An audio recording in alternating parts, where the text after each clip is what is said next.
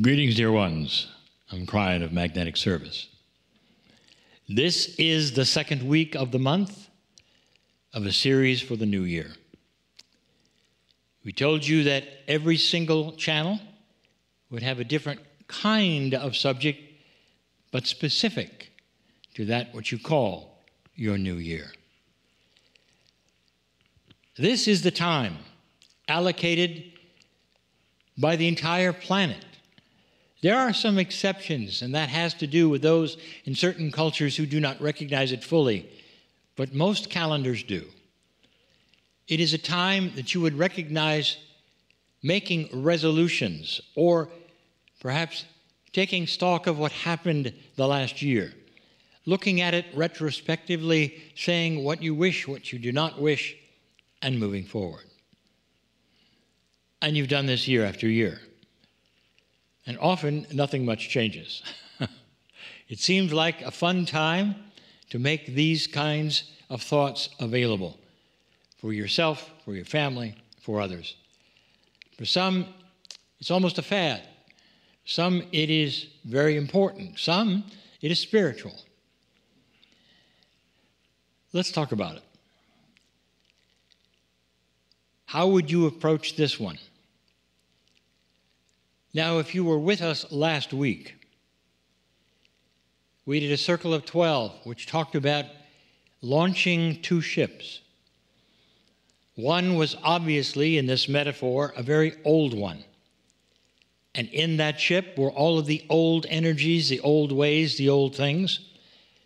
And in the new one, we didn't tell you. There wasn't much of anything. You see, it hadn't been created yet. That's the way these things are. Even today, in the questions and answers, the answer was given by my partner you don't know what you don't know.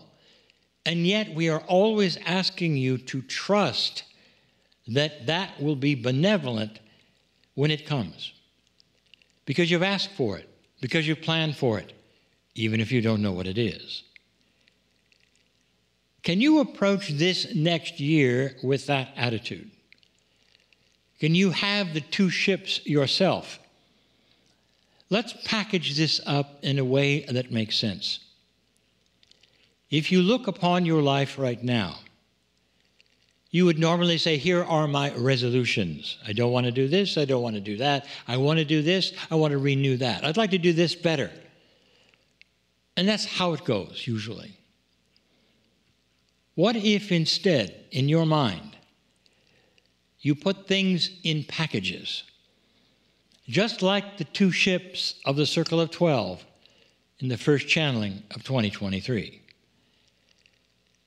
What is it that you would say you are stuck? And that resolution after resolution, every new year, you say, I'll do better, but you still feel you don't. And you know what it is. And it can be so many things, but you know personally what it is. What holds you back? What holds you from feeling good about yourself or self worth? What holds you from moving forward spiritually, perhaps? And again, it can come in so many forms. It can come in that which is your emotions and your attitude or your physical so many forms that will keep you from being you, and you know what they are. What if you visualize what they are, perhaps even write them down? Wow, that is frightening. To some, you don't want to even write them down. You don't want to give them energy. But what if you wrote them down on a piece of paper? These are the things that keep me where I am. I don't want to be where I am. These are the things where I will say, I'm stuck because they keep coming back. They keep coming back. And what if you were to take figuratively those things or that list that you're building and you wrap it up in some kind of a package? And if you did, write it up and put it in a package that's, that's lovely. It's a nice package. It's going to be a gift. in a moment, you'll see why. And another list you might put not what you don't want, but something new that you do. Don't make this a list that's always the same as it has been year to year. Try to alter it slightly so it sounds better to your own ears. Instead of writing what hasn't worked for you and has kept you away from things, you might say, I want to discover things that will increase my own my own self-worth, my own belief in me. Try not to make them specific, dear ones, because if you do, you will limit that which Spirit can bring you. Make them general and beautiful. I want to feel better for reasons I don't know why yet. I want to waken up, I want to waken with a smile every day for reasons I don't know why yet that will come my way. This is what I see for myself in this year. You're always safe to say, I want to come closer to the creative source. I want to know more about love and that will help me. What a beautiful list you would create, which doesn't sound like I want a new mate, or I want this or that, or I want to live in a different area. All of those things are so linear. What if those things could be incorporated in that multidimensional list that I just told you about? That you're saying, I don't know what it'll be, but I want to feel better about myself. This is the key. This is the key to you allowing what's going to happen next to be anything, as long as it creates that which you've asked for. You see the difference between that linear list and that multidimensional list?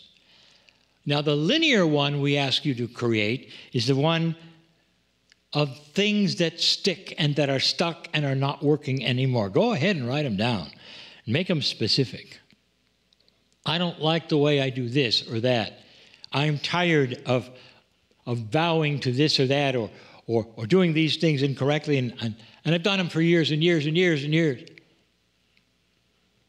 Put that list and write it up.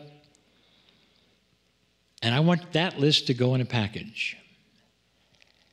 Go ahead and wrap it up, perhaps like you, you would even in a holiday package or a Christmas or, or a birthday, or make it lovely because you're going to make an offering. That's coming in a moment. The other list you have made, dear ones, I don't want you to put it in a package at all. I want, to, I want you to put it in your pocket. because this is the one that you put next to you. You don't wrap it and send it away. You keep it next to you all the time. You might even keep it by your bedside. You might even look at it you might refer to it on a regular basis just to remind yourself what might happen, what is possible. Now, for that lovely little package you made with all those linear things that you don't like, I'm going to ask you to do something that psychologists all over the world will nod and say, You're right. It's a ceremony of sorts, you might say. You're going to take that gift and you're going to offer it for destruction. The best way, dear ones, would be into a fire. Because then you watch it being consumed and your mind sees it as burning up. Your mind sees it as destruction and it goes away. It cannot be retrieved. And in that, you are saying to the universe, to spirit, to everyone around you who watches you do it, if you choose to do that, you're saying, It is done. It is finished. And those thoughts that I had and those things that are stuck will not have to come back. They're not me anymore, they belong to the fire. The things that are me are these more general requests that I have for myself for spirit that are in my pocket.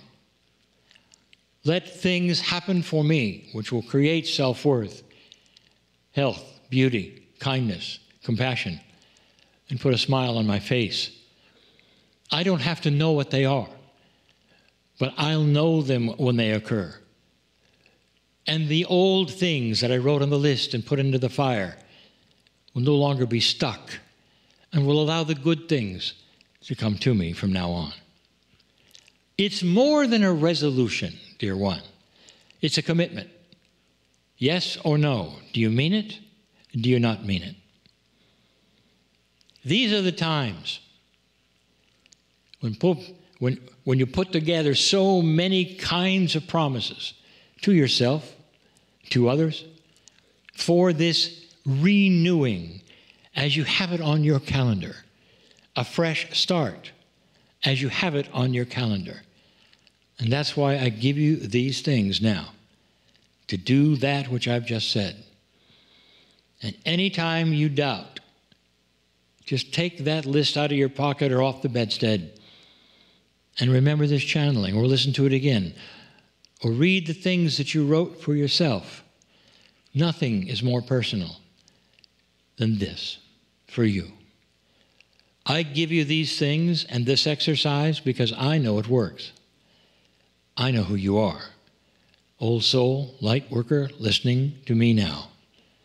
All these things are possible. I'm Kryon in love with humanity. And so it is.